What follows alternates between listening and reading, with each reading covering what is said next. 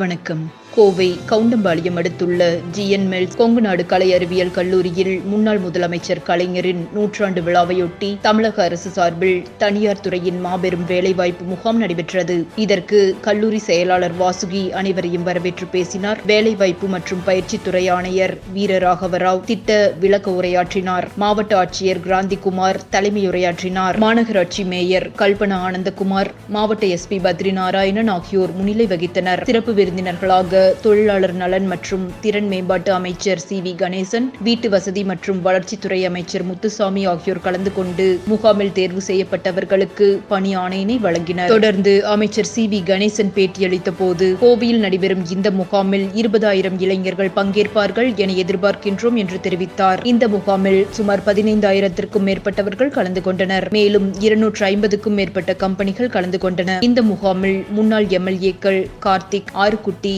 முன்னாள் எம்பி நாகராஜன் வடக்கு மண்டல தலைவர் கதிர் பதிமூன்று மற்றும் பதினான்காவது வார்டு கவுன்சிலர்கள் சுமதி மற்றும் சித்ரா தங்கவேல் திமுக கட்சி நிர்வாகிகள் பொதுமக்கள் திரளாக கலந்து கொண்டனர். முகாமிற்கான ஏற்பாடுகளை கல்லூரி நிர்வாகத்தினர் செய்திருந்தனர். இறுதியில் வேலைவாய்ப்பு மற்றும் தொழில் நெறி வழிகாட்டும் மைய மண்டல இணை இயக்குனர் கருணாகரன் நன்றி கூறினார். நன்றி.